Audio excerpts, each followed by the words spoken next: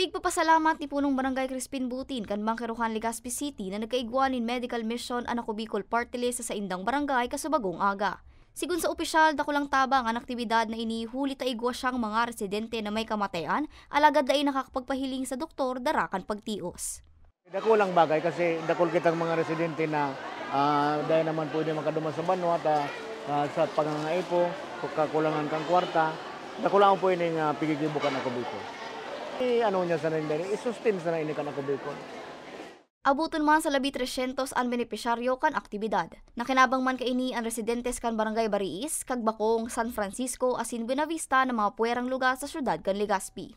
Pira sa mga pig-opresir na libreng serbisyo kan partido iyo ang libreng medical asin dental consultations, mga bulong, blood sugar screening asin libreng bakuna kontra pneumonia. Apwera kan mga serbisyong ini nakaresibi man ng mga benepisyaryo ng tigli 5 kilong bagas hali sa opisina ni 2nd District Congressman Joey Sarte Salceda. Dadarahon man kan partido sa mga masunod na aldaw ang medical mission sa Primer Distrito kan Albay. Para sa mga baretang, Tatak Bicol. Angeline Dagta